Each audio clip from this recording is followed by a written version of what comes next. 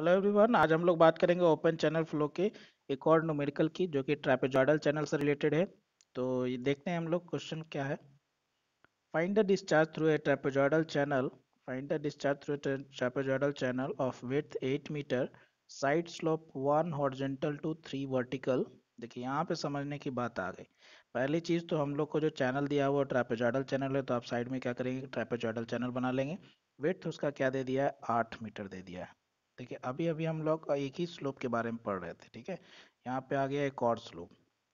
एक स्लोप जो होता है, उसको हम लोग क्या बोलते हैं? बेड स्लोप, जो कि बेड यहाँ का बेड, ठीक है? और एक होता है साइड स्लोप, ये हो गया आपका साइड स्लोप, ठीक है? जो कि रेक्टेंगुलर में तो नहीं होता बट ट्रेपेजॉइडल के केस में आपको क्या आता है? साइड स्लोप आता है। तो ये जो साइड स्लोप है, यहाँ पे दिया हुआ one horizontal to three vertical इसका मतलब क्या है? लोग समझते हैं one horizontal to three vertical का मतलब है one horizontal to three vertical. कहने का मतलब कि अगर आप एक हॉर्जेंटल एक यूनिट अगर हॉर्जेंटल जा रहे हैं तो तीन यूनिट, ऐसे इसको हाँ एक बार और इरेज करते हैं। इसका कहने का मतलब है कि आप सपोज़ एक यूनिट हॉर्जेंटल जा रहे हैं तो तीन यूनिट कहाँ जाएँगे? सपोज़ ये एक यूनिट है तो एक, दो, तीन। एक यूनिट ये जा रहा है हॉरिजेंटल तो तीन यूनिट क्या जा रहा है? वर्टिकल। मीन्स ये इस टाइप का स्लोप है। मतलब जो साइड स्लोप है, कुछ ऐसा है। कहने का मतलब कि अगर एक मीटर हॉरिजेंटल है तो जो वर्टिकल होगा, वो कितना होगा? तीन मीटर होगा। मतलब ये एक मीटर है तो ये तीन मीटर होगा। ये अगर दो मीटर है तो ये छः होगा। इस तरह का रेशियो से क्या है? ये स्लोप जा रहा है, ठीक है? तो ये है एक one horizontal two three vertical एक इसका साइड स्लोप दिया हुआ है, ठीक है? The depth of the flow of water is 2.4 metre जो डेप्थ ऑफ़ फ्लो है, वो कितना दिया हुआ? 2.4 मीटर दिया हुआ value of Chezy is constant C is equals fifty यहाँ पे भी आपको टेंशन नहीं लेना नहीं है। डायरेक्ट क्या दे दिया है? C is equals to fifty value दे दिया है। The slope of the bed of the channel given by one in four thousand. ये आपका क्या दिया है? बेड स्लोप दिया है। क्या दिया है? Bed slope. This is denoted as I ठीक है? तो यहाँ से बेड स्लोप भी आपको क्या दे दिया है?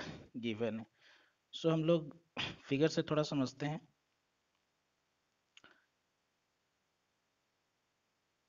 ठीक है? तो यहाँ पे देखिए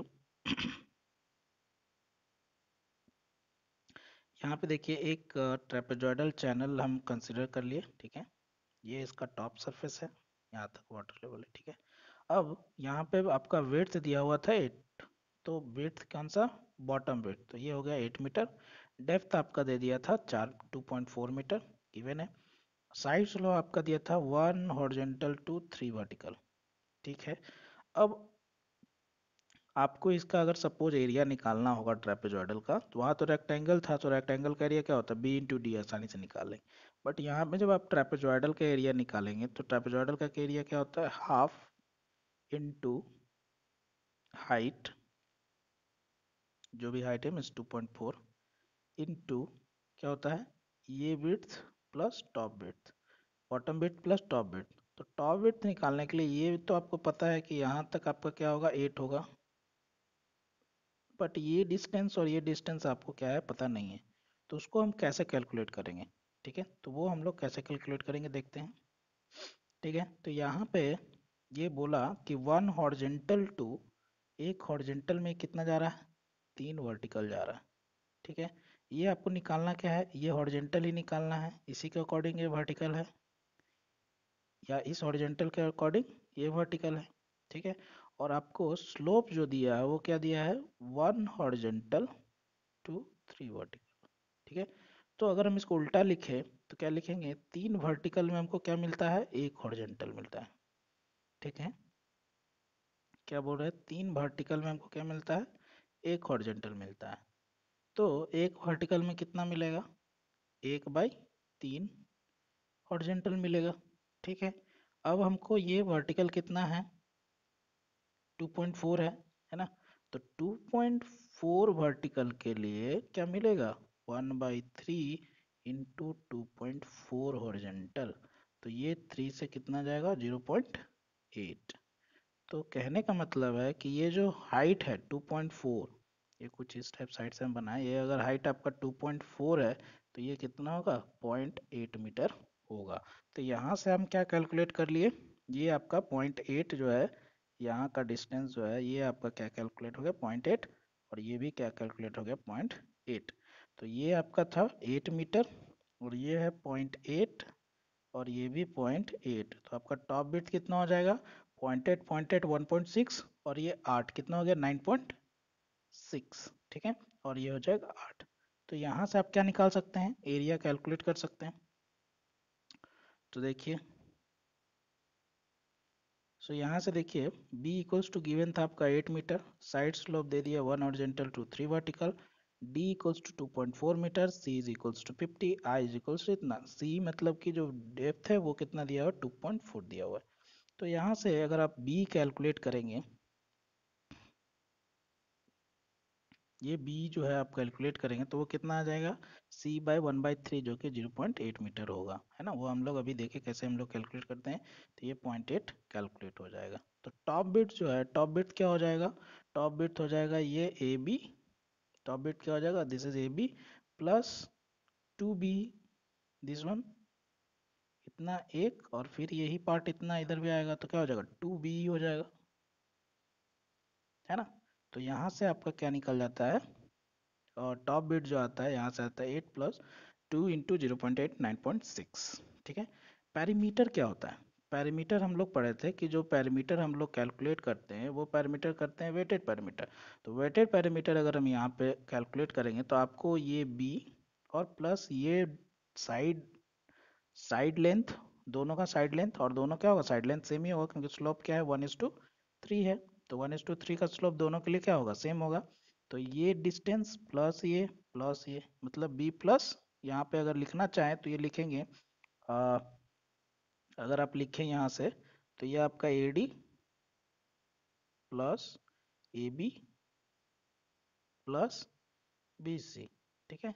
ए बी तो ए बी रहेगा और ए बी सी और ए डी क्या है? दोनों सेम है।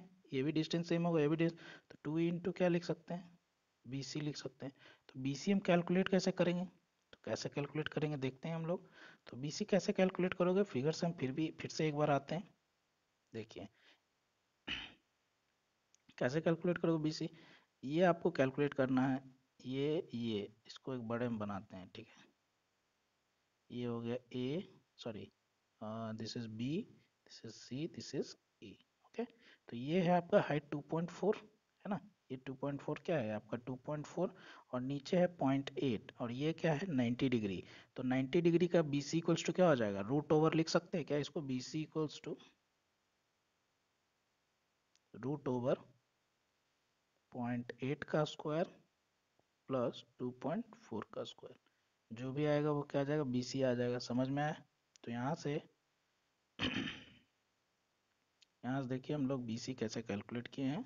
यहाँ B C equals to B A square plus C square point eight का square two point five two nine तो यहाँ से area of trapezoidal section A B C D क्या हो जाएगा? One by two base plus top width into height ये आ गया एरिया पैरामीटर के लिए क्या होगा P A D plus A D plus A B plus B C तो ए बी रह जाएगा और टू बी सी हो जाएगा. तो यहाँ से हम लोग बी सी भी कैलकुलेट कर चुके हैं.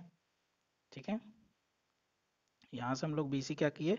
कैलकुलेट कर चुके two point five two nine तो यहाँ से पैरामीटर क्या आ जाएगा? आ जाएगा। तो यहाँ से एम का वैल्यू आ जाएगा wetted area by wetted parameter so आपको निकालने क्या बोल रहा था क्वेश्चन में? फाइंड द डिस्चार्ज तो डिस्चार्ज कैलकुलेट करना था, और आपके पास फॉर्मूला पता है V equals to C root M I ठीक है? और अगर आपको डिस्चार्ज निकालना है तो area into velocity so area into velocity means area into C root M I ठीक है? आई आपको गिवन था, एम कैलकुलेट कर चुके, सी गिवन है एरिया कैलकुलेट कर चुके तो क्या निकलेगा डिस्चार्ज कैलकुलेट हो जाएगा। तो यहाँ से देख सकते हैं हम लोग कैसे तरह से वैल्यू पुट कर देंगे तो डिस्चार्ज क्या हो जाएगा, कैलकुलेट हो जाएगा। तो ओपन चैनल फ्लो में ट्रेपेजॉइडल सेक्शन में आपको थोड़ा पैरामीटर निकालते समय आपको जो साइड स्लोप गिवन है, उसका आपको क्या करना होगा, यूज़ करने आना होगा। अगर वो आप अच्छे से कर पाते हैं तो न्यूमेरिकल क्या करते हैं इजीली सॉल्व कर सकते हैं। Okay thank you